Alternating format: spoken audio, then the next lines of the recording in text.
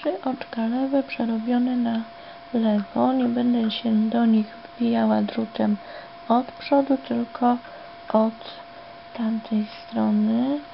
Tylko, że najpierw muszę zmienić położenie oczek na drucie. Ja mam w ten sposób, to muszę je sobie przełożyć tak, bo inaczej otrzymałabym oczka przekręcone i wracam z nimi w tym położeniu już na drut lewy i teraz sobie mogę tutaj robótkę powiedzmy, żeby było lepiej widać, odwracam i drutem prawym w ten sposób dostaję się pod te wszystkie oczka.